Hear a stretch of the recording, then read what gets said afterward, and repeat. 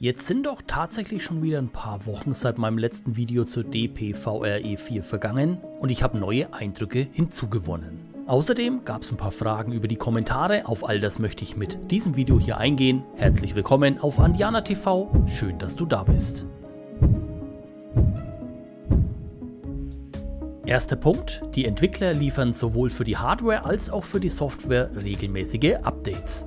Und so gab es zufällig in der Woche, als ich diese Aufnahmen hier machte, für die App ein Software-Update auf die Version 4.1.8.17.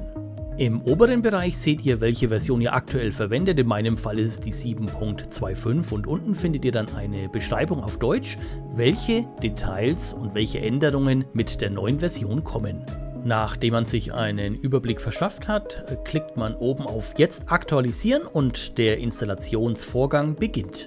Und der läuft im Endeffekt ab wie der erste Installationsvorgang. Das Programm beginnt mit einem Test der PC-Konfiguration und im Anschluss packt ihr das Ganze auf den Installationspfad eurer Wahl. Während des ganzen Vorganges läuft wieder ein Video im Hintergrund, das können wir aber hier abkürzen. Im Anschluss initialisiert sich das System neu und es müssen diverse Voreinstellungen erneut durchgeführt werden, da es auch dafür ein Update gab. So viel zur Software, aber auch die Hardware möchte ein Update erfahren. Auch hier gibt es eine neue Firmware-Version, also aktualisieren wir auch diese. Kleiner Tipp, Steam VR muss dazu geschlossen sein, also das am besten vorab schließen und dann das Firmware-Update durchführen.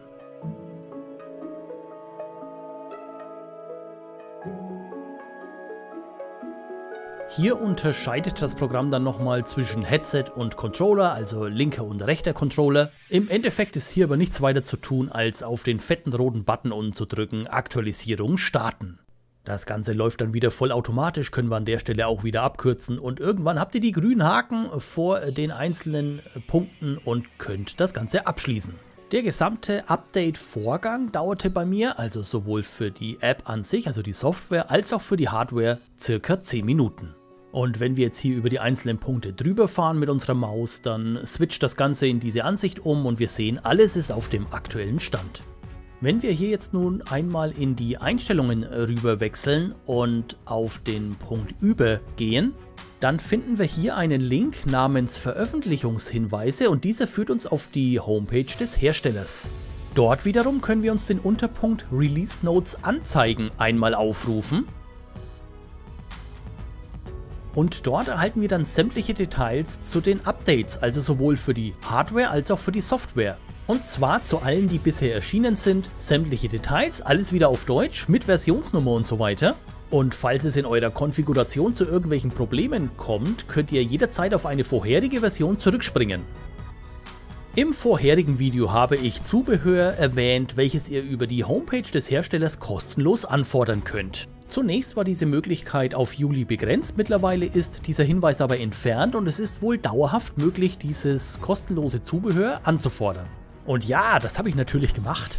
Und so seht ihr jetzt hier die kostenlosen In-Ear-Kopfhörer, die ihr äh, bekommt und entsprechend an eurem Headset anschließen könnt.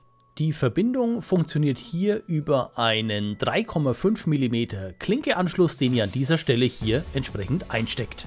Der Sound ist eine bessere Alternative zu den eingebauten Kopfhörern im Headset. Dennoch bietet das im vorherigen Video gezeigte Headset, welches ich nutze, selbstverständlich einen noch besseren Sound. Ebenfalls Teil des kostenlosen Zubehörs sind diese Abstandshalter für die Linsen. Diese sind vor allem für Brillenträger interessant, können ganz easy auf die Linsen in der Brille aufgesteckt werden und verhindern, dass die Gläser eurer Brille, also eurer normalen Brille, mit den Linsen des VR-Headsets in Berührung kommen. Hier seht ihr den direkten Vergleich, rechts ist der Abstandhalter drauf, links nicht. Und auf der linken Seite lässt sich das Ganze hier auch ganz einfach aufstecken. Ich bin zwar kein Brillenträger, habe das Ganze aber mit einer Sonnenbrille getestet und ja, es funktioniert.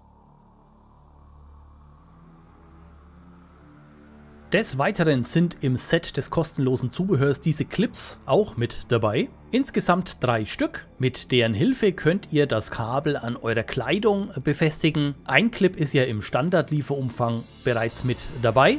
Das Ganze sorgt eigentlich schon für eine sehr gute Zugentlastung. Die zusätzlichen Clips helfen dort aber auch nochmal nach. Worüber ich mich sehr gefreut habe, ist, dass dieser kostenlose Zubehör in dieser kostenlosen Tasche kam. Diese ist allerdings, und das möchte ich an dieser Stelle deutlich betonen, nicht standardmäßig dabei. Kleiner Tipp, fragt beim Hersteller einfach mal freundlich an per E-Mail. Vielleicht habt ihr eine Möglichkeit, die für einen kleinen Betrag mit dazu zu bekommen.